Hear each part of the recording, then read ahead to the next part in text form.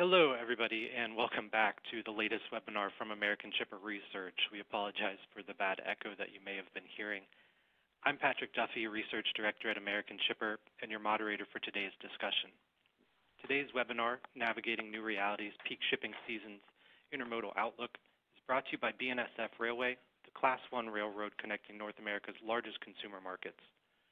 We have guests logged in from around the globe including some of the world's largest shippers, transportation providers, and other types of professionals involved with every aspect of supply chains.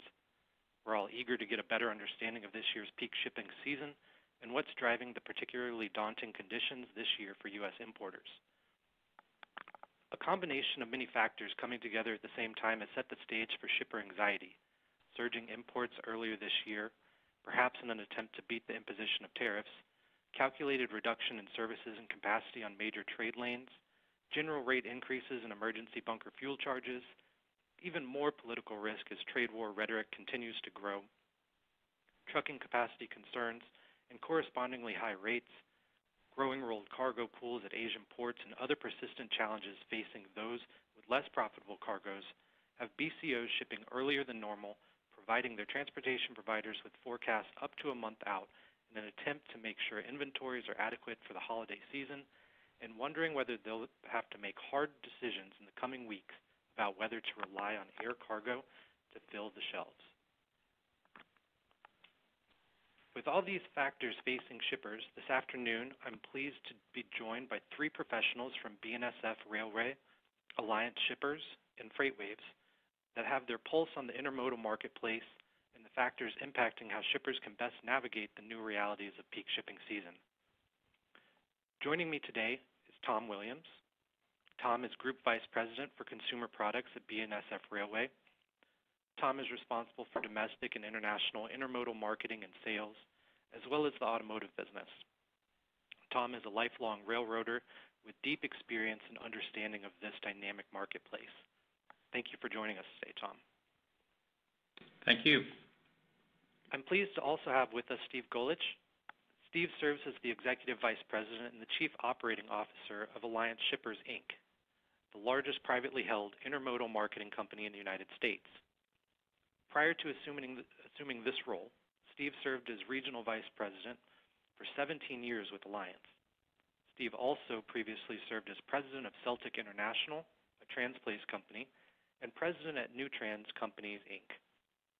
Steve is going to share his deep operational knowledge with us about how he has managed peak shipping season, peak shipping seasons over the years, how things have changed, and how shippers can best manage this year's shipping concerns.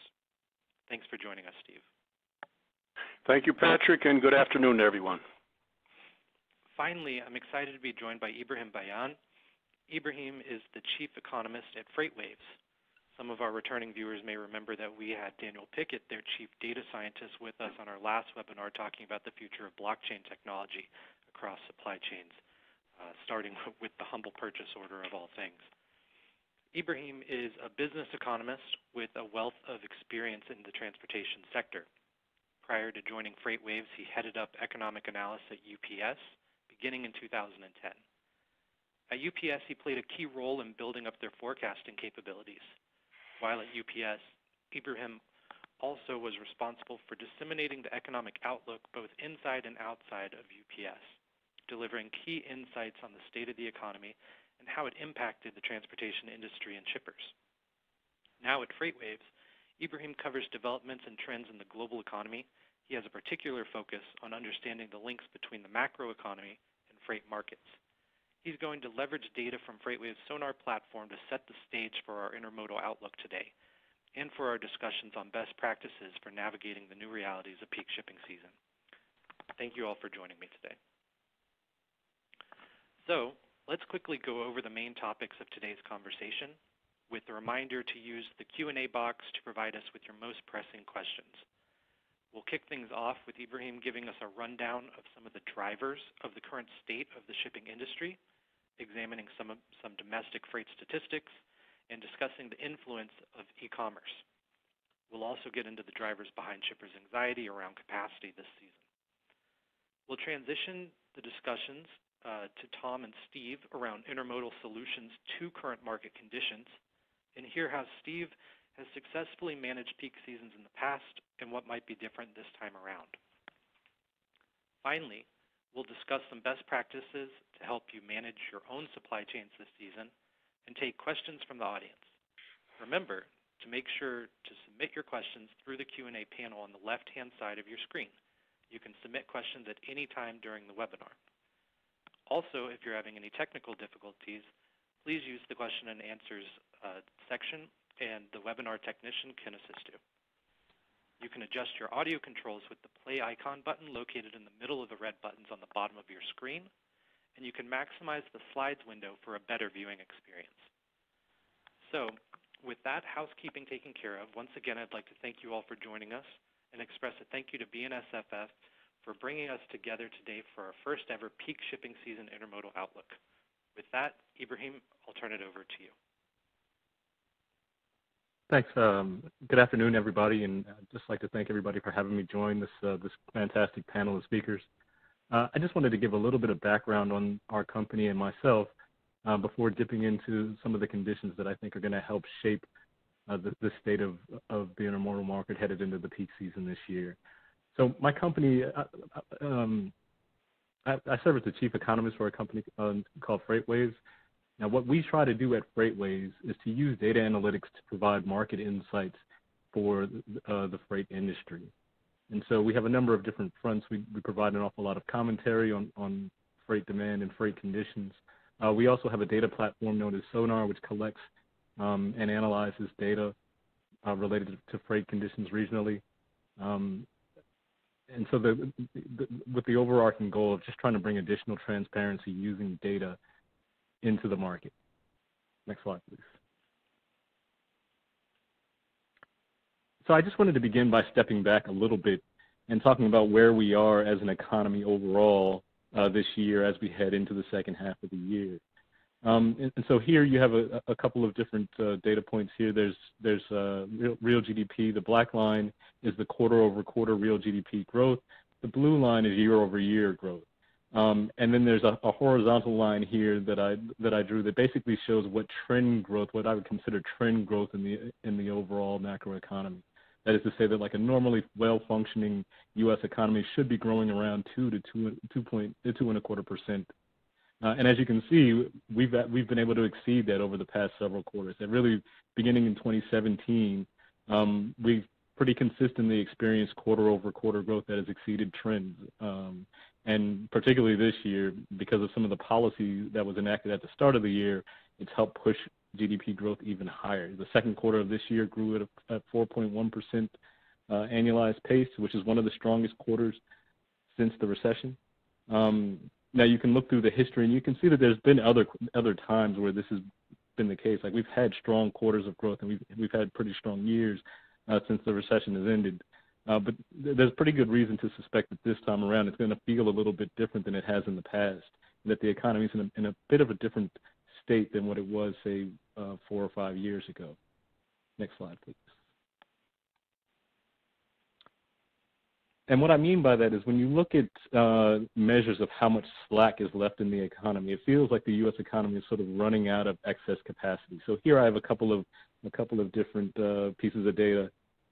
The blue line here is our real GDP performance, uh, really since the uh, uh, over the past 20 years, right? And you can see uh, that it took a hit during the recession, and you've kind of had a gradual return to growth during this kind of expansion. The black line is is what's called potential GDP. Now, potential GDP is essentially a measure of how much the economy would be producing if it was functioning normally. So that is to say that if there was no high unemployment, if everybody was was kind of employed in proper positions, um, then this is the amount of, of output that the economy could produce.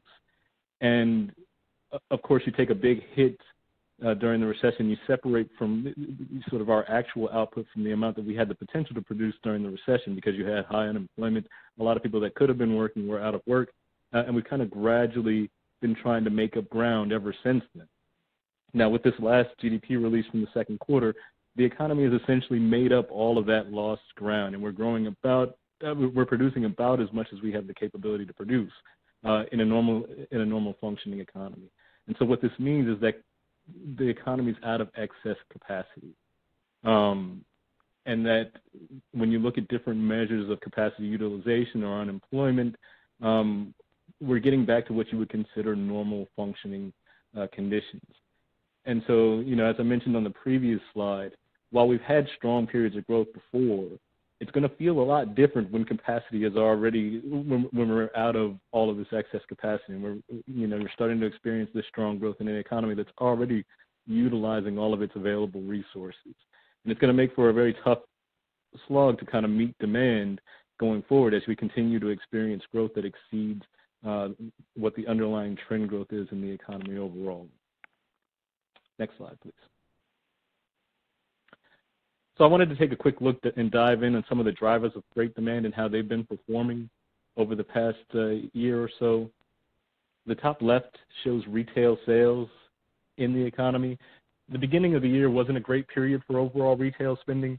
Um, you know, after the hurricane rebuilding phase ended at the end of uh, at the end of last year, there was a surge of, of spending then. Once we got to the other side of that, I think consumers took a bit of a break, um, and there was a period of two to three months where the amount of retail spending really didn't grow much. The second quarter was much better. Um, there was a surge of, of, activity in the retail space in March, April, May, and June, uh, and it, continuing into July. The, the retail spending has, has, been proceeding pretty solidly since then. Uh, and I think as you go forward, I would expect that to continue. That when you look at the conditions that help drive retail spending in the economy, uh, consumer confidence is still pretty high, job growth is, is, is still high, in the economy, and that that boosts incomes, and that that helps drive a lot of the consumer spending uh, that, that goes on. Now that helps freight demand, of course, because all of these goods that, that consumers end up buying have to get there somehow. Um, there's been you know some reports that even brick and mortar stores have, have been doing well over the past couple of months. Both Walmart and Target, when they had their earnings calls, they noted how strong uh, even in store traffic was. Um, but the real strength within the retail space has been within e-commerce, which is seeing growth, um, you know, in excess of 15% year over year over the past several quarters. Uh, we're, we're certainly seeing that um, impact intermodal demand in terms of strong retail sales. And do you think there's a component of um, retail and more broadly overall business inventories tightening a little bit that uh, would also lead you to be optimistic for a sustained strong freight environment? Sure. I mean, I think when you look at inventories um, overall, they're not at historical lows, but they're pretty lean in the economy right now. Um, and normally, if you have this kind of combination of like lean inventories and high demand, what that really means is there's a lot of uh, inventory turnover, which means that inventories have to be replenished and sent out uh, over and over again. And it's particularly true for e-commerce kinds of uh, kind of movements. Um, I, I, think the strength of e-commerce bodes well for freight demand. Um, you know, on the inbound side, you're going to have an awful lot of replenishments of like fulfillment center, center kind of inventories in order to meet demand. Going outward, I, you know, I, think most of the demand gets fulfilled primarily by parcel delivery companies like a UPS or a FedEx. Um, like most of the most of the final mile shipments to the to the end consumer takes place uh, through smaller packages. But I think inbound, when, as you replenish fulfillment centers and distribution centers, um, I think that certainly helps freight demand quite a bit. You know, guys, this is Steve. I, I'd like to comment also that we've seen some resurgence with some of the big box retailers. Actually, I mean, some of certainly are having their their their difficulties. But if you look at the uh, articles that, like a Macy's, for example, has reported that their traffic is actually up, and uh, things are improving from where they were a year or two or so ago. And certainly that uh, results in in significant more more shipping in truckload quantities. We've noticed sure, quite and, and I would agree. Yeah, I mean, I would agree. Like it was you know, for a long time, the big story was basically that retailers were dying in the brick and mortar space, right? That you had like all these store closings, um, and people didn't want to go to stores anymore. Uh, but then, you know, over the over this past quarter, I think you're right. Like a lot of the bigger retailers, um, they, they came out and they said, you know, in-store traffic looks pretty good uh, from our perspective. Um, again, I mean, Target released their, their earnings results, uh, I guess, either yesterday or the day before, and um, it was one of the big highlights in there. It's just that like the in-store sales were pretty were pretty strong as well. E-commerce, of course, out, outpaces what goes on in the in the brick and mortar space, but still, um, pretty encouraging news that, that there does seem, seem to be some life in there. And, and a lot of credit due to the ingenuity of the, of the people behind that for the, all the different things that they're doing to attract store traffic with uh, uh, value adds and, and you know just the things that they're doing, Starbucks all over and all those kinds of things. I think are getting people to to get out. So it's it's it's nice to see those types of businesses have been part of the American economy forever and ever and ever.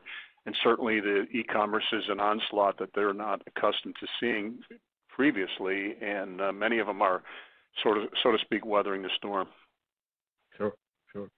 Um, and I think other spaces in the U.S. economy look pretty good as it relates to freight demand. When you look at manufacturing activity, uh, it's been proceeding at a pretty solid pace um, particularly when you look at like overall industrial production. The energy sector is, has uh, grown at a, a, very high clip this year, uh, and that helps drive freight activity as well. Like most people kind of think of like a rise in, of energy prices as being just bad for for freight because it, it, I mean typically historically it's just meant higher fuel costs, right? I mean you have like a rise in oil prices that means you're going to pay more for diesel or, or, or what have you. Um, but there's an awful lot of freight activity that's tied to our energy sector right now. That when every time there's a new oil rig that opens up, um, if, if, all of this increase in like fracking activity, it, I mean, it's, it's trucks, it's intermodal that that uh, and, and rail that helps bring all those materials um, to to make all that operate. So I, I actually think that like it, it becomes sort of a net positive for freight, even though you have the drag from higher fuel costs, uh, and it certainly helped boost our overall production in the U.S. economy um, overall. Uh, and then the third piece is, is sort of trade. I mean, when you look at the trade numbers, there's been a lot of concern lately over what trade is going to look like uh, with all the recent moves in policy. But at least so far, the the export numbers and the import numbers have been pretty strong. I mean, you're, you're looking at over double-digit growth in exports in the U.S. economy now, close to double-digit imports uh, growth in imports in the U.S. economy. And all of these things point to just very, very strong demand for freight uh, to the extent that it holds up uh, throughout the remainder of the year. Ibrahiim, this uh, is Patrick. Uh, I might have a question on that last point. Uh, a lot of stories in the financial news over the past week have been talking about how we're uh, at the historical the historical point for the longest bull market runs.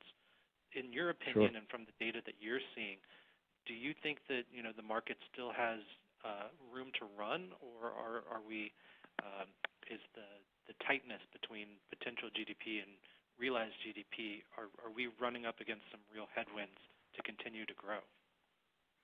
So I mean, I would I would say that I think it's going to be challenging uh, going ahead, but there's there's definitely still some room to grow.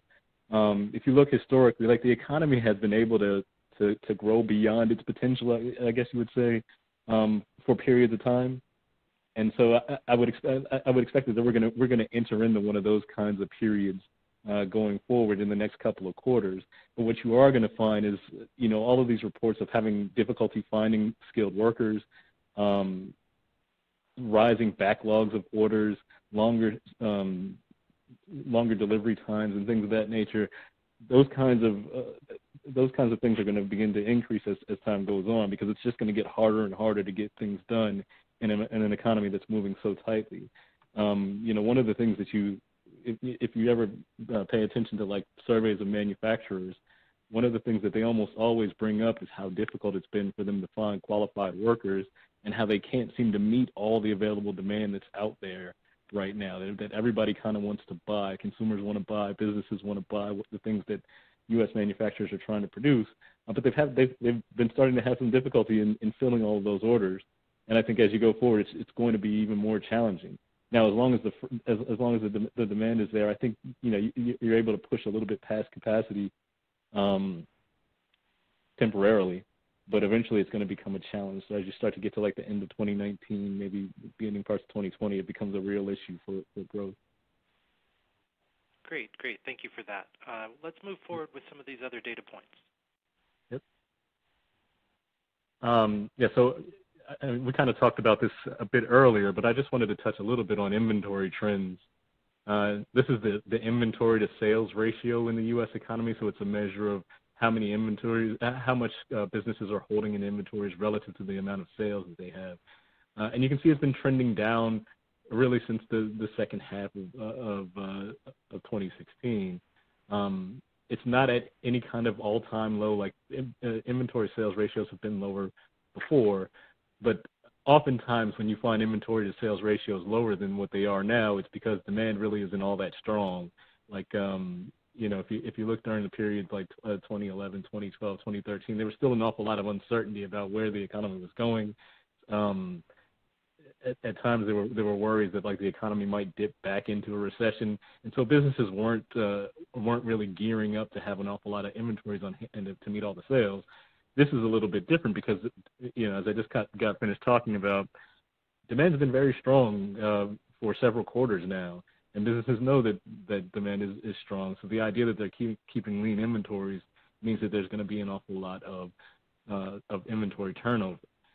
And so what this means for from a carrier perspective is it just that it's just more pressure to make sort of just in time kind of delivery shipments that people are holding only as much inventory as they have to and when you want to operate that way it basically means that that you, you know when you need the goods to be replenished they have to be re- replenished in a timely fashion because you don't have an awful lot of excess inventory um, to fill any kind of existing demand and so, you know, this lean inventory, it's just, um, I mean, it's a positive one from a freight demand kind of standpoint. It means that there's still quite a bit of, uh, of freight demand, but it does put pressure on carriers to, to do things in a timely fashion. Steve, can you talk a little bit about how maybe your, your customers' expectations have changed over the past five years as the, uh, the rise of the always on, always available economy has kind of uh, spilled over from, from, uh, from different sectors? Sure. I, I, maybe the the, the uh, most important point is uh, to to make is that there's an education process that needs to go on, and it is going on. It needs to continue going on because we've moved rather suddenly from an environment to where uh, transportation providers such as Alliance and others were aggressively looking to increase market share with, with you know full bore sales programs and things like that, and uh, recently uh, attesting to all the things that Ibrahiim has said that, that, that we just don't have the capacity to meet the demand. So we're not on the front edge of looking for more business as much as we are in, in maintaining and protecting the business that we have today. So the things that, that shippers had come to expect and built into their their receiving patterns, shipping patterns have changed significantly. Uh, there's just an awful lot of business today compared to what we saw even a year ago and certainly two years ago, and, and largely we call this an oversold market. So, you know, we do our best to working with our underlying providers to educate our shippers and receivers on how things have changed, how transits have changed, how transit schedules have changed. And one another big element that happened recently was the uh, ELD mandate, the electric uh, electronic logging data mandate, which has been around for a while, but it wasn't really enforced until this spring. And that basically limited the hours that drivers can work and hours that drivers can drive. And some of the things that we did in the industry before are no longer physically possible or legally possible. An example as it relates to intermodal in the uh, in the Chicago market where I live and and, uh, and operate, uh, the Chicago Railroad ramps service really six states. And for an example, uh, taking freight from uh, off of Chicago ramp into certain parts of Michigan to serve the uh, automotive uh, business, we, a driver can't do it anymore. A driver cannot make a turn in a day. And so, what does that mean to a shipper or receiver? Well, number one, uh, the capacity for getting that stuff has been reduced, and number two, the price has gone up because you're now paying a driver essentially for two days out of his work week than you were recently for one. So things have changed significantly. Again, I, I, I stress that education is, is the most important part of, of adapting to all of this. Great, great point. And uh, to that point, let's continue with the education from Ibrahiim. Um, so, so it's, I mean, it's difficult to talk about sort of the, the conditions within freight and the supply of freight without digging into the trucking market, because I think a lot of um, what's going on with with freight markets in general begins with just the, the difficulty that trucking companies have had um, in, in finding enough drivers to, to move all of the available freight. Uh, and so here I have just um, some recent trends on employment within truck transportation. Um, and you can see that that uh, trucking has made some improvements over the past uh, year or so. Like really beginning at the end of last year, we saw hiring within trucking pick up in a noticeable way. I mean, there were there were years where trucking employment really didn't change all that much. Um, it, it was at about 1. Point, uh, 1.45 million for the better part of, of several years uh, before there was a noticeable uptick at the end of last year. Um, and this is a pretty good sign, you know, that uh, that we're, starting to see more drivers uh, being brought online. Um, trucking employment is almost two percent higher now than what it was a year ago. The, problem is I just don't think it's quite fast enough. That know the amount of drivers that are being added into the into the industry isn't enough to keep pace with all the all the different kinds of improvements in in freight demand. I mean, you know, if you go back to if we think back to the earlier slide, um, where all those positives were on freight demand. Retail sales is about 6% higher than it was last year. Industrial production is 4.5% higher than what it was last year. Exports and imports are almost double-digit growth um, higher than what they were last year. And so 2% growth in, in the amount of drivers that are out there on the road, I, I don't think it's just an, enough. And so it, it, you still uh, find yourself in this environment where there's a shortage of available truck drivers. And so what ends up happening – is that you know if you can't find available truck drivers or if it becomes prohibitively expensive to to to uh, to move your freight your freight via truck, um, it starts to spill over into other modes of freight. And I think you know intermodal carriers have been hit uh, by a lot of freight that they otherwise wouldn't have, just for the simple fact that people can't find available truck drivers. So there's you know you, you get sort of the normal um, growth in intermodal demand that you would get with a with a strong economy. But then on top of that, you have this kind of this freight that's that's being dumped on intermodal carriers or rail carriers um, for the simple fact that they just can't find enough truckers that for, for these things that would typically go uh, travel by, by truck throughout the economy. And, and Ibrahiim, I'm sorry, I think an important point to make here is that intermodal requires a truck on the front and a truck on the back. So Absolutely. it's not completely removed from the, the, the issues we have with truck today and uh, driver capacity. And one thing that has not changed is uh, the barriers to become a truck driver. It's, it has not been the most desirable um, vocation uh, for a lot of reasons. And, and, you know, number one, you have to have a CDL. You have to be 21 years old. Well, for for young people today who are looking to make a career, you and if you don't go on to, for your education, you have to do something. And a lot of them don't want to wait around to 21 to start a career. Uh, insurance requirements, uh, wage has been has been really really low in this country for a long time with truck drivers. We're starting to see that rise today. Uh, to your point, and uh, that will help to attract some, but we're really still far behind the eight ball with with uh, driver capacity. I read somewhere, I'm not sure what it is today, but I think the average age of a truck driver in the United States is in the mid 50s, like 55 or 56. Maybe you know the real answer there, but those are important things to remember. That's right, um, and, it's, and it's part of the problem is that there's a, there's a real difficulty uh, when you have an older workforce like that. Um, you find yourself in a situation where you have a lot of the older drivers pushing towards retirement, um, and, and you have to worry about whether or not you can bring in enough new drivers to, to backfill those positions, and it becomes an additional challenge.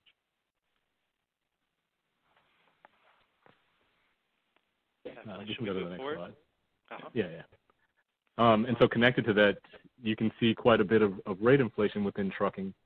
Um, and so this is the producer price index for just long distance truckload in the economy. Um, and you can see 11% growth year over year. The producer price index basically essentially measures like the, the, the prices that producers get for the for the things that they produce.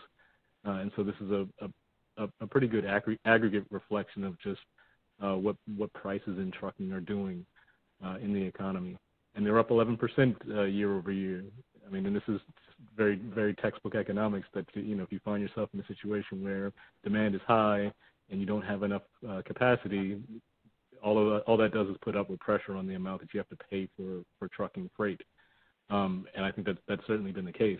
And again, this is a, another one of those situations where, you, you know, if you're a shipper, you start to see these high increases in in the rates that you have to pay for trucking, uh, and you begin to start to try and find other ways to to move your freight as a way to mitigate your over, overall transportation costs, right? And so what this really means is, I mean, this is a pretty um, a pretty good opportunity for other modes of transportation because they're they're going to be um, you're going to have shippers that are looking towards these other modes as as potential ways to move freight as a way to kind of manage the amount their their overall profit margins.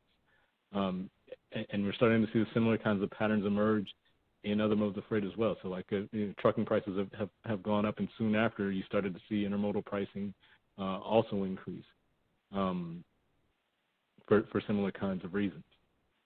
And and so it's just uh, something to keep an eye on. It's, it's something I don't think is, is going to mitigate, at least not in, in upcoming months as you head towards the peak season. Uh, we can go to the next slide.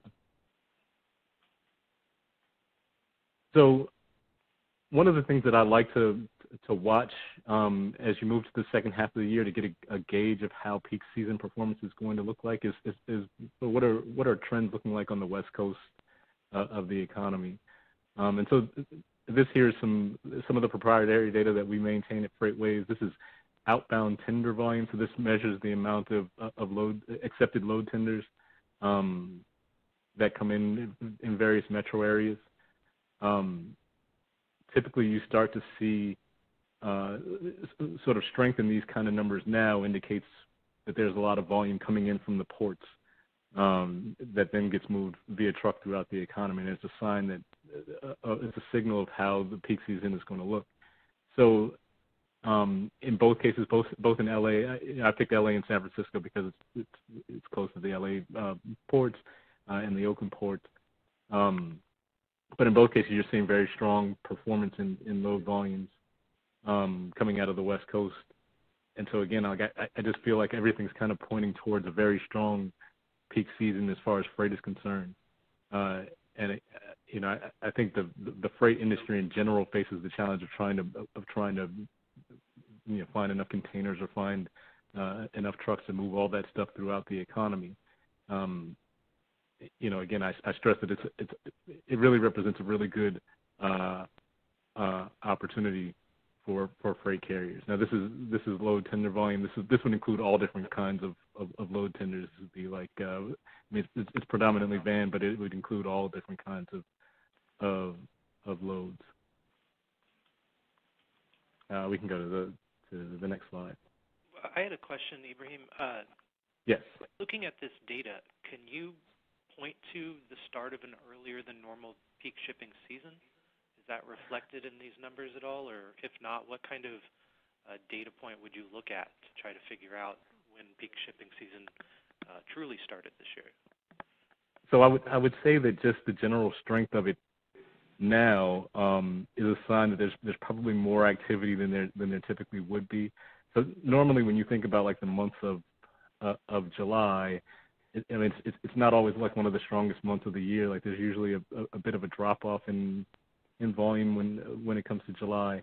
Um, so the fact that it's been strong is a, is a bit of a sign that uh, that uh, perhaps you know companies are doing things a, a bit a bit different this year um, and, and starting things out uh, maybe a bit earlier than they otherwise might. And Steve, Tom, do you guys have uh, opinions on on yeah, figuring out how it how and when it's the real start of a peak shipping season? It's difficult for me to say definitively that we're seeing an earlier peak trend. I mean, our overall volumes are up in the mid-single digit range.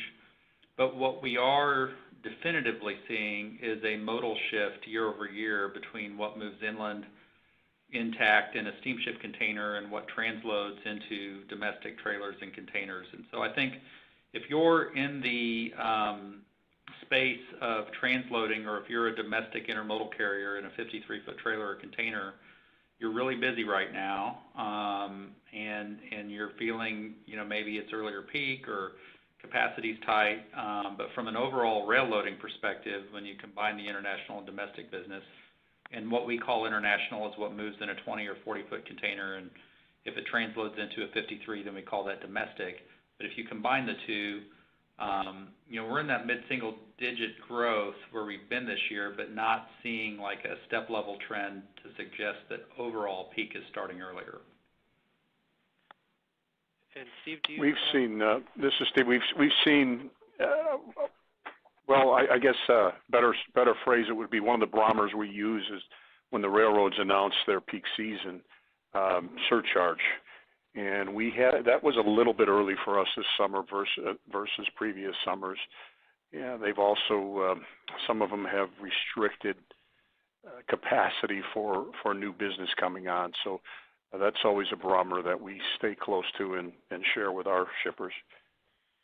And, and certainly that would point to that tightness that I ref- referenced in the 53-foot space, um, which could be some mix shift. It could be a little bit of earlier uh, peak, but difficult to pinpoint um, that it's absolutely earlier peak. Very interesting. So, should we move forward? Yes, that's fine. Okay. So the the last thing I wanted to to kind of cover, um, which is the big uncertainty around everything, is is trade policy. That there's been a, uh, quite a few changes in trade policy beginning in the start of this year, uh, with some some tariffs that were put into place um, on washing machines and solar panels, and it's really continued throughout the year that that the United States has kind of moved more and more gradually to a, a, a much more protectionist stance. Um, it it gets a little bit tricky to to separate sort of the the rhetoric the, the rhetoric from the actual policy that gets implemented. Um, but I do think it's starting to have material effects on the way that that companies are are, are uh, going about doing business. Um, particularly when you look at, at, at trade volumes, uh, there's a lot of evidence to suggest that that many companies have have begun like importing things or exporting things ahead of time, like uh, earlier than than they otherwise might, for fear that tariff, you know, the tariff situation might get worse. So, say for example, if uh, in, in China, um, there was a lot of evidence that that they imported an awful lot more soybeans earlier than they normally would uh, during the second quarter. And the reason why is because the uh, China began uh, slapping tariffs on on soybean imports um, uh, during the month of July, right? And so the the idea being that you know if you know the tariffs are coming and you think the tariffs might get worse, it, it probably makes sense to build up inventories a bit a- ahead of time. And I think as you go through the third quarter, there pro- there there may be more of that, uh, especially as as the rhetoric kind of ramps up. Um, right now, you know, I think most of the attention is on the U.S. and its stance towards China and the amount of tariffs that we're uh, that we're thinking about implementing on Chinese goods uh, and vice versa. Um, but it can also open up to, to other countries as well. For a while, you know, um, there was talk about adding additional tariffs onto the European Union. Uh, NAFTA is still very uncertain. Like the, the, the state of NAFTA is, is still very uncertain going forward. Um, and I think businesses are starting to react and just saying, you know, we're just going to prepare for um, the situation where tariffs might be worse. Now, I, I don't think it's it's it's actually manifested itself in like lower production or less hiring or anything of that nature. But I do think companies are rethinking sort of how they how they try and navigate through all of these policy changes uh, and prepare themselves for what could be a significantly worse trade environment uh, going forward. Great. Steve, Tom, do you have something you'd like to add for that? No, no, nothing, uh, you know, agree with the, uh, points on trade. It's a, does create some uncertainty. And some of the, the, the impacts that, uh, Ibrahiim noted, we saw it in some of our bulk businesses, maybe even to a greater degree, um, like on the soybeans and, and the, um, the intermodal, uh, ship, shipping, uh, trends. And Steve, have you seen uh, the basically the rhetoric uh, driving different types of decisions for shippers? Absolutely. I, I think this, this whole oversold condition in the marketplace today is certainly political. I mean, everybody has a job today, right? We see unemployment at, at sub 4% levels that we haven't seen in a long, long time. And with the tax cuts and, and those things, people have just more disposable income to spend. And you see a flinch every every time there's a tweet that comes out of Washington, and uh, you know those things uh, do cause ripples for sure. But overall, it's it's been uh, it's just been a boom of activity. Great. And so let's transition over to Tom, uh, who's going to talk with us a little bit about uh, BNSF's uh, portfolio of options to help you navigate peak shipping season. Tom? Yeah, and just a real quick primer on BNSF's intermodal network. Uh, so um, if you look at the portfolio of business that we handle, about half of the volume is is intermodal. And within that uh, intermodal volume, about 60% moves in a domestic, either 53-foot container or trailer or uh, 28-foot pup trailer, and then 40% moves in a steamship container, 20 or 40-foot intact. Um, clearly agree with all of the comments that we're in a very unique freight environment, uh, but do think that intermodal is a very good solution for the you know, evolving supply chain needs, uh, particularly in the e-commerce uh, space. A couple years ago, we'd hear a lot that you know, proliferation of e-commerce within the retail space might be a headwind for intermodal shipments because of the delivery requirements. But what we have seen is that as Uh, fulfillment centers and distribution centers have expanded within metropolitan areas, getting that freight into um, the places, the regions where people live, um, You know, intermodal is every bit as effective uh, in an e-commerce supply chain as it is in a brick-and-mortar supply chain. We do think that because of the complexity of the fulfillment center needs, that service consistency and uh, you know, ETA accuracy, shipment visibility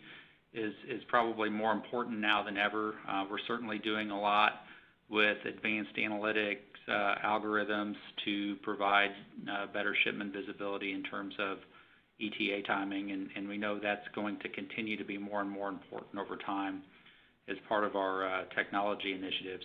One thing I want to point out on this chart is that when you look at the trends, uh, both for us and the industry going back to uh, the peak prior to the recession and the long, slow recovery, that chart goes through 2017.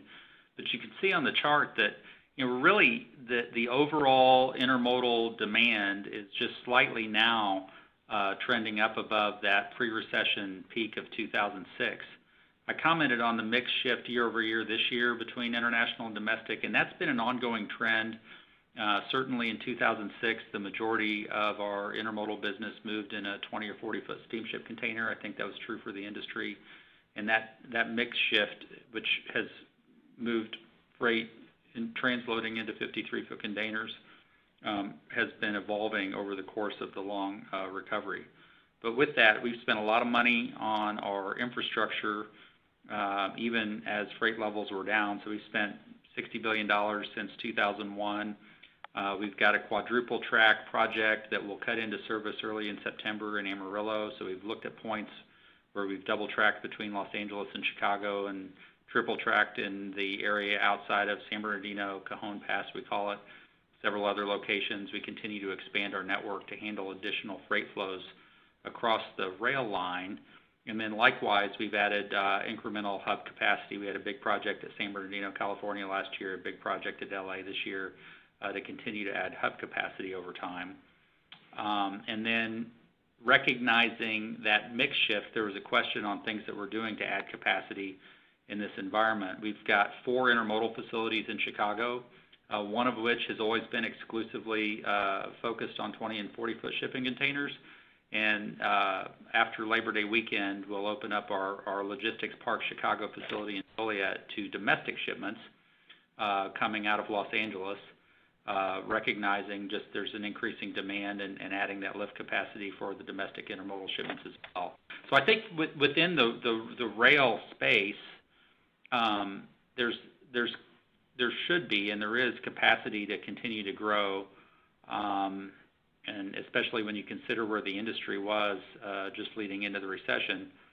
Uh, the mix shifts uh, definitely drive some feelings of tightness um, in the mode within which intermodal moves, domestic versus international, and then also certain hub facilities, which are primarily one mode versus another. We can see some isolated places where you know we're a lot busier year-over-year than maybe that mid-single-digit growth rate um, would would portend. But you know, I think that, as Steve noted earlier, there's there's a truck move on either end of each intermodal shipment. And you know, the unique thing about uh, what's happening this year, uh, especially with um, the onset of ELDs holding everybody accountable to those rules that have been out there, We're seeing tightness in certain dray markets uh, affecting the intermodal door-to-door move for sure. So next slide.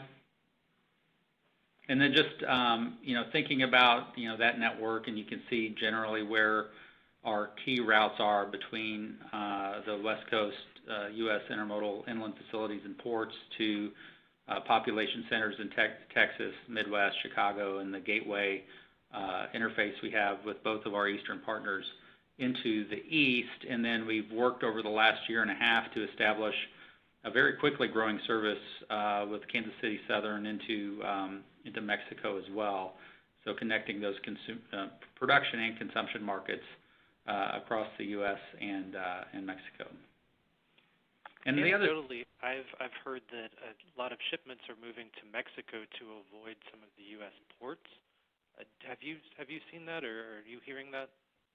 No, and and and thanks for that comment. Um yeah I again, going back to those shipment trends going all the way back to 2006, I think the U.S. West Coast ports, um, L.A. Long Beach, Oakland, Tacoma, Seattle, um, all are well-positioned to handle more freight than what's coming through. And year, even year-over-year, um, you know, I would say in the Southern California port complex, we're seeing there's been a lot of initiatives within the ports to improve fluidity and productivity. And I think the port complexes, uh, from an interface with rail, are operating quite well. Any, you know, the uh, the other point that I would make there is when you know, there's, there's been uh, industry consolidation and shifting alliances within the steamship space, and anytime uh, one of those mergers or alliance shifts takes place, again, there's a mix shift in terms of which terminals are utilized and vessel strings and so forth, that can be a little bit disruptive. And then as things normalize, and and we're in that normal normalization phase right now, I think, after the last major steamship line merger. I would say that the port complexes on the West Coast are operating quite well. Great. Should we should we move forward? Yep. Okay. Uh, so we're going to transition over to Steve, who is basically going to give us a rundown of how he's been running peak shipping season with Alliance. So thank you. So what you see there is the Alliance commercial. That's a picture of one of our trailer units, and in the background is the BN Santa Fe. And the significance of that is that we have an exclusive arrangement with BN uh, in the western states. They are our only underlying provider. Uh, that fleet consists of about 2,200 trailers. We are a 100% trailer fleet, uh, not container. You can go next, Patrick. Mm-hmm. That's a bit of an kind of an overlay of the uh, BN Santa Fe service. Those are the ramps that we use.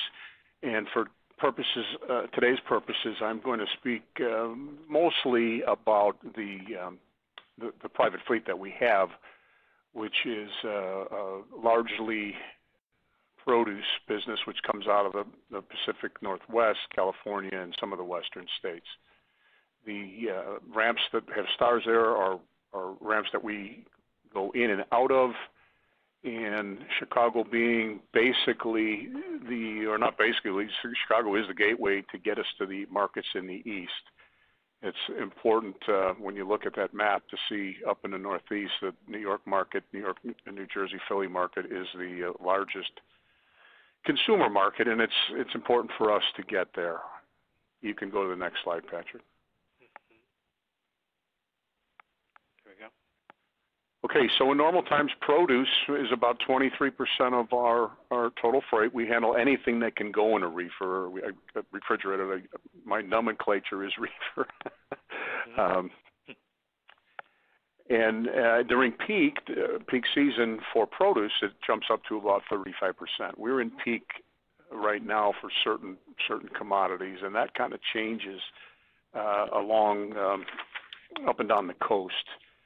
Uh, right now, we're we're basically finishing up peak season in California. We've moving down a little bit in towards uh, the Yuma is a big region for us, where we handle quite a bit of lettuce. And then PNW is a is a market that we're in really September through May. Apples is a big commodity for us there. Uh,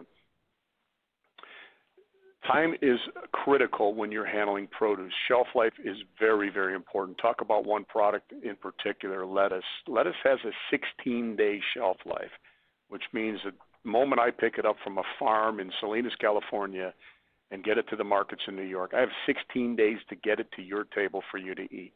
Any delays basically say, you know, we can't do this. It's got to be serviced by truck. Because of the speed of the BN Santa Fe's uh, trains on uh, expedited, this allows us to get freight typically into the New York market in about six and a half days, leaving nine to 10 days left for distribution and get it into the stores for, for consumers to purchase. And Steve, you can do go you next, provide uh, sensor technology yourselves, or is that something that's provided by shippers? How, how do you guys get uh, supply chain visibility into the state of produce? Yeah, if you if you go to the next slide, you'll see um, talk about technology there a little bit. Our entire fleet is equipped with two-way telematics, right? And it's basically cellular technology. With that, we track 100% of the time that your shipment is picked up to deliver. We have complete visibility of the location of the unit, the temperature of the unit, the performance of the unit, the fuel burn of the unit, it's pretty sophisticated stuff that uh, is also equipped with alarms. So we do have 24-hour monitoring, but we have alarms that would could trigger um, a dispatcher or a customer service person to uh, change a function, and that would be an alarm that said that maybe the, the temperature is supposed to be 38 degrees and we're reading a, a, a 40 degree kind of thing. And so that would require some um, some customer service operation at that point. Uh, the technology also manages the, the minute that we pick it up, the minute that the door closes, and the minute that the door opens at the other end, and when the unit is empty. The uh, technology also allows us to pre-cool our units to the temperature that shippers require. It's not where you just back the unit up to a, a dock and have someone there set the temperature. It comes in at the temperature that it was required. The key with uh, collaborating with the or partnering with the BNSF is a better word is because of their expedited service, we look like a truck. And so when you're talking about how do you get additional capacity, uh, you know, look like a truck, smell like a truck, feel like a truck. LA, for example, or Southern California to Chicago, we regularly record transit times that meet or beat a single driver. And so that allows certain commodities of produce to go on intermodal where it otherwise would not if we were uh, under standard transit times. Mm-hmm. This is a business that we got into many, many years ago with the assistance of the BN Santa Fe. They encouraged us to get in. We started this with 200 reefers way back in the, gosh, I don't know, late 80s, I think it was and since then we've grown to where this is about one third of my total business by volume. Wow. Yeah, I, uh, you can I go think to the next speaks to the the um, the shipment visibility uh, importance uh, in, in the overall supply chain, and certainly applaud your efforts. And you see a lot of technology also in, in the uh, terminal space. Um, what OOCL has done down at the Long Beach Container Terminal in terms of that automation project. You can imagine how that technology uh, is also a potential to be deployed at inland facilities. We're certainly looking at some tests in terms of uh, how we can leverage automation. But I think technology will definitely help the intermodal product continue to evolve and strengthen over time. Uh, another point that I should make here is BN support of uh, of trailers is very important to us. As I mentioned, we are 100% trailer fleet. Trailer simply means we are not waiting in line for chassis. We are not managing chassis. Our unit arrives with wheels already intact, so that uh, creates a little bit more speed for us.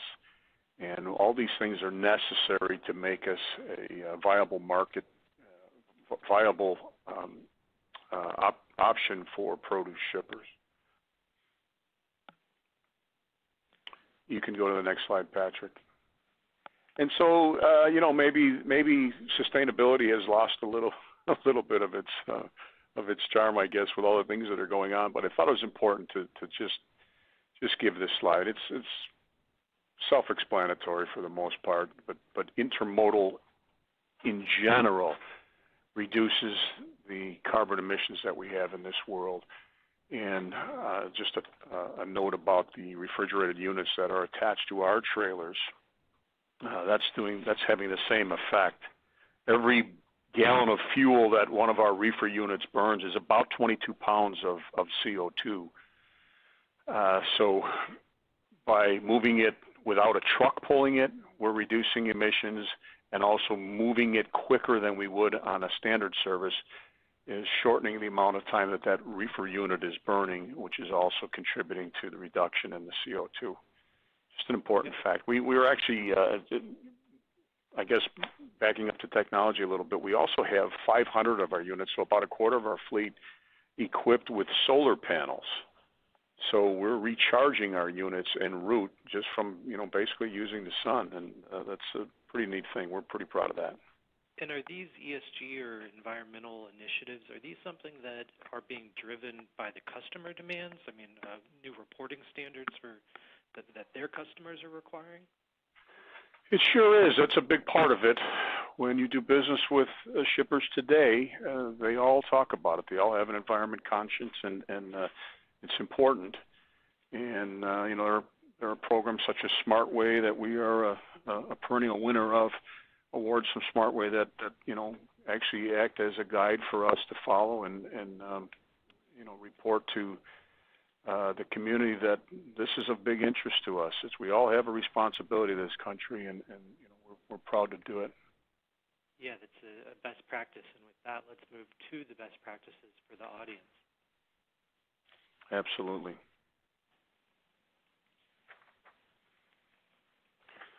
Uh, just I, I think one last comment would be on reliability. Uh, with the when you with the expedited service, you can you can bank on it. You know the, the trains run on time, uh, deliveries are on time, and that certainly helps with uh, meeting customers' expectations and helping us with velocity. Let's face it, one of the best ways to create capacity is by improving velocity. So when you can count on a unit being unloaded for you or drayman to pick it up and not have to wait and uh, you're actually creating velocity and that's how you grow the size of a fleet without actually investing in it is, is through velocity. So we've found great, great reliability with the BN Santa Fe on their expedited network.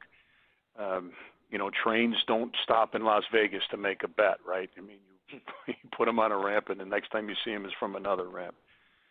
So it's been uh, really the most important reason why we've been so successful in this business uh, vertical. And Tom, do you want to chime in?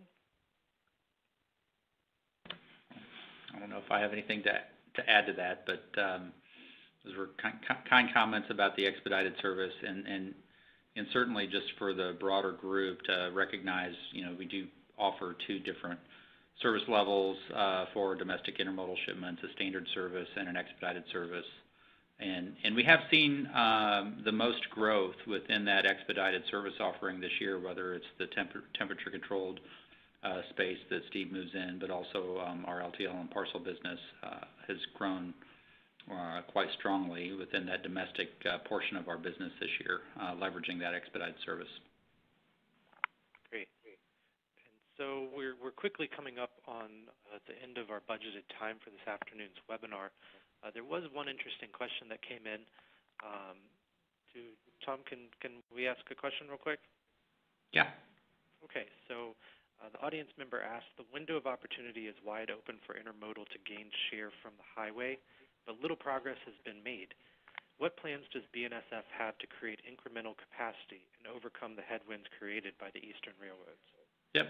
And I, tr I tried to touch on that just in terms of the investments that we're making uh, and also leveraging, you know, because of the mix shift toward domestic, uh, new intermodal hub capacity within our network uh, and making that available for domestic uh, shipments as well. But I will make one more comment as it relates to capacity. And that is, I think retailers, as they think about using, or any company um, in their supply chain using intermodal, uh, historically, um, you know, the, the intermodal supply chain is a seven day a week, 24 by 7 operation. and a lot of the, the companies that use intermodal in their supply chain operate five days a week.